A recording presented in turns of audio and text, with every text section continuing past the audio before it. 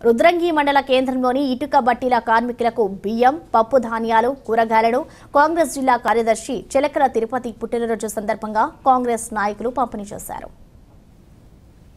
రుద్రంగి గ్రామ శాఖ అధ్యక్షుడు సామ మోహన్ రెడ్డి ఆధ్వర్యంలో కార్మికులకు బియ్యం పప్పు ధాన్యాలను పంపిణీ చేస్తూ సీనియర్ కాంగ్రెస్ నాయకుడు చిలకల తిరుపతికి పుట్టినరోజు శుభాకాంక్షలు తెలియజేస్తూ వారు ఆయుర ఆరోగ్యాలతో సుఖ సంతోషాలతో ఉండాలన్నారు. బియ్యము మిగతా కూరగాయలు ఉప్పు పప్పులు అందజేయడం జరిగింది. తను ఇలాంటి జన్మదిన కార్యక్రమం ఎన్నో చేసుకుని ఆరోగ్యంతో అస్థాయితలు వృద్ధుగాని కోరుకుంటూ